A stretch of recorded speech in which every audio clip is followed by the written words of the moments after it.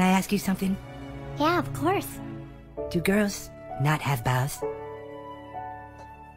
Girls do not have balls, no. So when a girl goes to scratch her balls, how does that work? And you gonna ditch that Stupid, ugly, waste of space, piece of shit, bitch! you got. It's me you should be seeing.